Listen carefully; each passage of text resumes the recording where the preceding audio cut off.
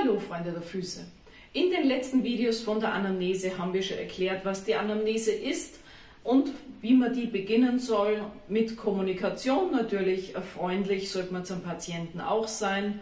Und wenn wir jetzt die ganzen Fragen stellen für die Anamnese, müssen wir die natürlich irgendwo dokumentieren.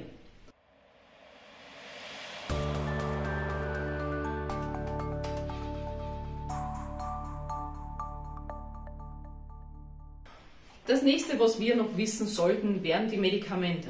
Warum müssen wir die Medikamente des Patienten wissen? Falls er ähm, Herzmedikamente, Blutdruckmedikamente oder Antikoagulationsmedikamente nimmt, wäre das schon sehr praktisch, wenn wir das wissen.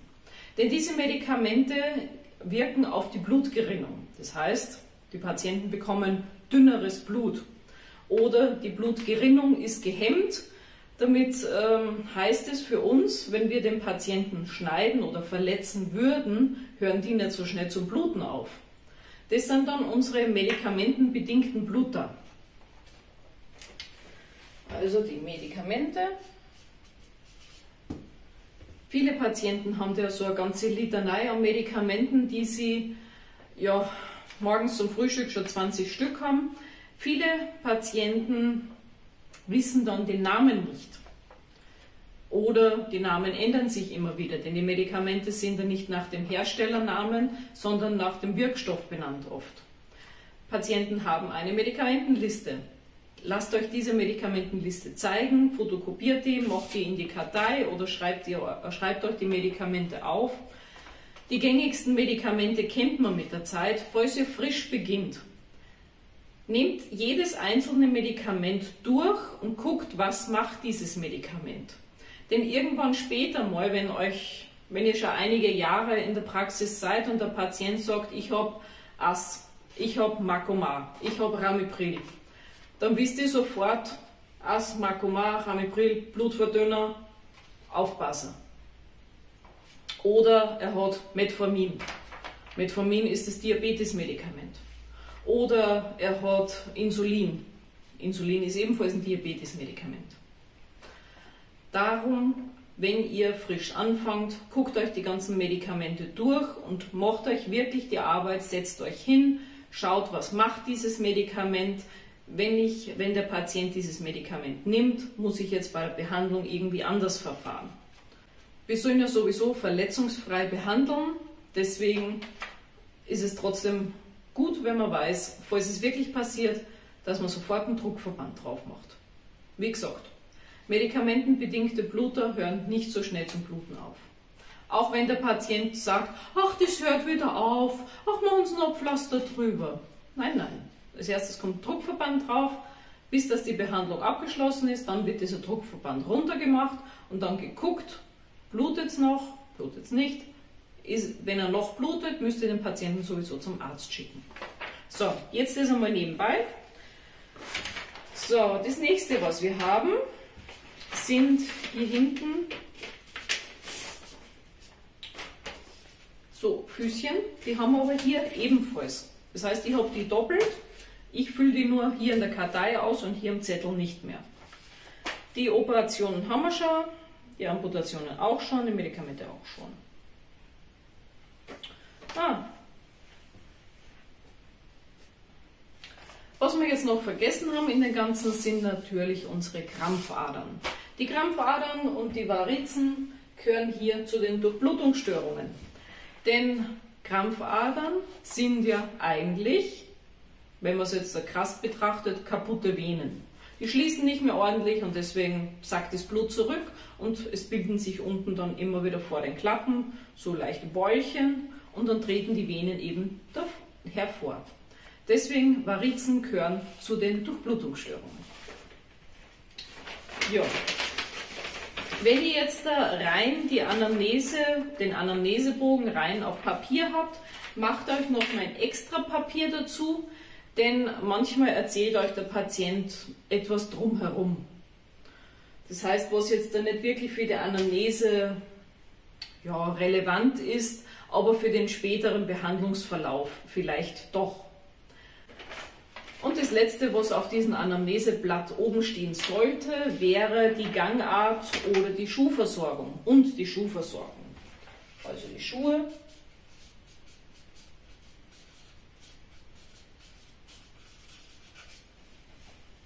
Warum brauche ich die Gangart?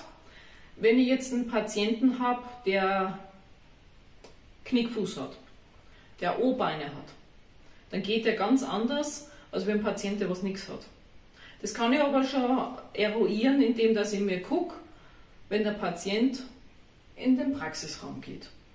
Da kann ich schon mal gucken, oder Gehstütze, fordert er meinen Rollator, nimmt er die Wand her zum Gehen, habe ich auch manche Patienten, die meinen, sie müssten an der Wand entlang gehen, anstatt dass sie einen Rollator nehmen, der in der Praxis steht. Auch das gibt es alles. Deswegen die Gangart und die Schuhversorgung. Die Schuhe müssen wir ja auch überprüfen bei den Patienten, gerade bei den Diabetespatienten. Ich habe zum Beispiel bei einem Diabetespatienten einen ungefähr so einen Haufen Sand in den orthopädischen Schuhen gefunden. Ja, das habe ich dann auch erst gefunden, als ich äh, bei der Behandlung festgestellt habe, also der hat hier vorne Klavi, also Hühneraugen hat er hier vorne. Und eins davon ist wirklich, ja, hat ausgesehen, als ob es komplett aufgerieben wäre. So viel läuft der nicht. Dann haben wir gedacht, hm, kommt denn der ganze Sand her? Ja, bis ich auf die Suche gegangen bin und dann die Schuhe mal umgekippt habe und wirklich, es ist aus einem Schuh so ein Haufen Sand rausgekommen. Der Sand war nicht auf der Einlage. Wenn man den Schuh reingeguckt hat, hat man nur ein bisschen Sand gesehen. Der Sand war alles unter der Einlage. Und weil der Sand unter der Einlage war, war es so, dass der orthopädische Schuh quasi nicht hoch genug war, die Krallenzehen oben gedrückt haben, unten gedrückt haben und sich das unten alles aufgerieben hat, weil der Sand ja von vorn immer wieder drüber geschwappt ist. Bei jedem Schritt. Also manchmal muss man auch wirklich ja, fast Detektivarbeit leisten, wo dann die ganzen Sachen herkommen, was der Patient so hat. Kleine Geschichte am Rande. So, das war eigentlich alles. Muss der Patient den Anamnesebogen unterschreiben? Nein, muss er nicht. Denn äh, die Anamnese ist ja für euch, dass ihr in äh, der Praxis das Ganze dokumentiert habt. Ihr wisst ja, die Dokumentation ist unsere Rückversicherung. Wenn der Patient jetzt äh, später mal kommt, zum Beispiel ich habe den Fall gehabt, Patient ruft mir nach drei Wochen an und fragt mich, habe ich bei, wie ich das erste Mal bei Ihnen war, vor drei Wochen, habe ich da am großen Zeh schon so einen schwarzen Punkt gehabt? Ich Zettel genommen, Nö, haben wir nicht gehabt. Gut, dann muss er zum Arzt gehen. Was war es im Endeffekt? Der große, also die, am Großzeh, das Schwarze, was er gefunden hat oder was entstanden ist, hat er vom Hautarzt entfernen lassen. Es war ein Bluterguss. Tja, wenn ich das jetzt nicht dokumentiert hätte, hätte ich dem Patienten auch nicht sagen können, nö, da hätte ich, ja, wäre für mich blöd gewesen. Deswegen Dokumentation ist für uns Podologen die Rückversicherung in jeder Hinsicht. Gut dokumentieren, wenn ihr alleine in der Praxis seid, neigt man ganz oft dazu, dass man die Dokumentation etwas schleifen lässt. Ja, warum? Der Patient kommt eh nur zu mir. Sind in einer größeren Praxis drei, vier Podologen, wo zum Beispiel der Patient einmal bei dem ist, einmal bei dem, einmal bei dem, da muss dann jeder gucken, was hat denn der andere Podologe das letzte Mal beim Termin gemacht. Deswegen ist gerade in Großpraxen ist es sehr, sehr wichtig, dass man das Ganze gut dokumentiert und auch die Anamnese. Alles aufschreiben, alles hinschreiben. Ja, es heißt so schön, alles was nicht geschrieben ist, ist nicht passiert. Unten in der Infobox habe ich für euch einige Firmen aufgelistet, die solche Anamnesebögen haben, die ich auch für gut befinde. Ähm, wenn ihr jetzt sagt, nee, ihr kommt mit den ganzen Bögen nicht zurecht, ihr möchtet euch, möchtet euch einen eigenen für eure Praxis machen, weil ihr einen speziellen Schwerpunkt habt, dann ist es auch kein Problem.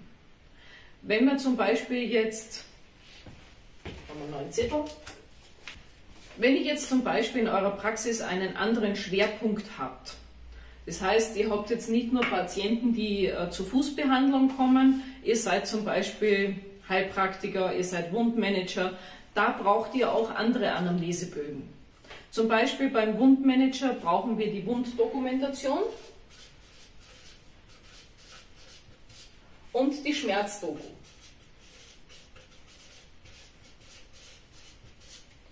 Diese beiden haben jetzt da weniger mit Podologie zu tun, das gehört jetzt da wirklich ins Wundmanagement. Wenn ihr jetzt Heilpraktiker seid, habt ihr großteils sowieso komplett andere Anamnesezettel. Also der HP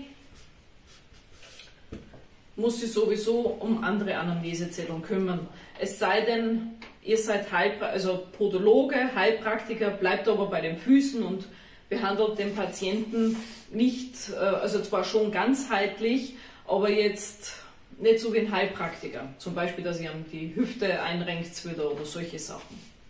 Dann könnt ihr bei den Podologiebögen bleiben. Gut, ähm, die Wunddokumentation sieht in dem Sinn wieder anders aus. Da wird die Größe der Wunde bestimmt nach der Wunduhr. Das heißt, man hat jetzt zum Beispiel, ist nur ein kleiner Ausflug. Die meisten von euch sind ja keine Wundmanager. Zum Beispiel, ich habe hier eine Wunde. Die Wunde wird in Uhr eingeteilt. Das heißt, hier oben kranial Richtung Kopf ist immer 12 Uhr, auch wenn der Patient es so hält. Das heißt, es wird immer nach dem Schema ausgegangen, wie dieses äh, Männchen dasteht, das was da, wie heißt denn das Männchen? Schreibt es mir in die Kommentare rein, wie das Männchen da heißt. Also das steht meistens dann so da, entweder Handflächen nach vorn oder Handrücken nach vorn und wir haben hier die Wunde, das heißt oben ist 12 Uhr. Und zum Beispiel auf 3 Uhr hat man einen Fibrinbelag. Auf 5 äh, Uhr nee, das ist 7 Uhr, auf 7 Uhr hat man einen grünen Schleimbelag. Oder auf 10 Uhr hat man eine Kruste. So wird die Wunddokumentation gemacht. Dann gibt es auch noch diese Lineale, wo man dann fotografiert und misst, wie groß, wie breit ist die Wunde. Es wird herum angeguckt, wie ist die Haut rundherum. Ist die trocken? Ist die vom Pflaster geschädigt? welches Pflaster wurde genommen, welches Pflaster wäre besser. All die Sachen kann man in der Wunddokumentation reinmachen. Bei der Schmerzdokumentation ist es so, dass die Patienten, die oft Wunden haben, auch Schmerzen haben. Gut, unsere Polyneuropathiker haben auch teilweise Schmerzen. Da kann man auch so einen, so einen Schmerzanamnesebogen nehmen. Was steht da im Groben drinnen? wie stark ist der Schmerz, welche Qualität hat der Schmerz. Okay, ihr kennt doch alle diese, diese Linie, wo so Smileys drunten sind, von mir geht super bis mir geht so scheiße, dass ich heulen muss. Oder die Schmerzen sind so stark, dass ich den ganzen Tag noch heulen muss und schon kirre werde. Diese Skala gibt es auch auf diesen Schmerzanamnesebögen. Dann gibt es noch die Qualität des Schmerzes. Dumpfer Schmerz, stechender Schmerz, brennender Schmerz, juckender, Jucken, ja, alles, das Ganze kann man da erfragen. Ähm, wie gesagt, das Ganze kehrt eigentlich ins Wundmanagement, hat jetzt für uns Podologen nicht wirklich ja, von Bedeutung. Es sei denn, ihr habt den Schwerpunkt Wunden. Dann solltet ihr das machen. Heilpraktiker würde ich empfehlen, dass ihr ebenfalls sowas vorrätig habt. Ob ihr das mal brauchen würdet, sei dahingestellt. Ich habe die Bögen auch, falls jetzt ein Patient mit Wunden oder Schmerzen kommt oder beides hat oder alle drei hat, der muss podologisch versorgt werden, der hat Wunden und der hat Schmerzen, dann habe ich schon mal drei Zettel, was ich in der Anamnese dann ausfüllen muss mit dem Patienten. Zum Schluss möchte ich euch noch einen guten Tipp auf den Weg geben, die Anamnese sollte so kurz und knackig wie möglich gehalten werden. Das heißt, wenn ihr den Patienten abfragt, die Fragen haben wir im letzten Video schon gemacht, wenn ihr den Patienten abfragt, lasst euch keine Lebensgeschichten erzählen. Zum Beispiel, wo ist denn diese Narbe her?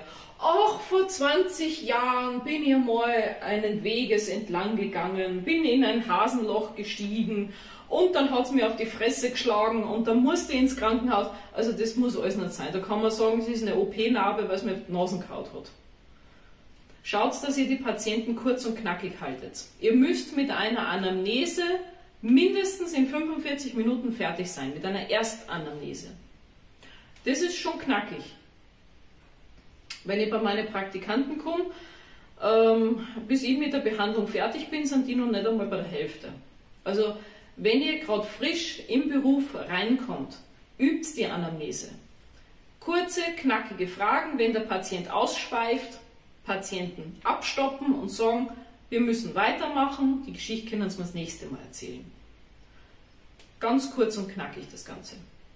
Ja, somit sind wir jetzt mit der Dokumentation der Anamnese durch.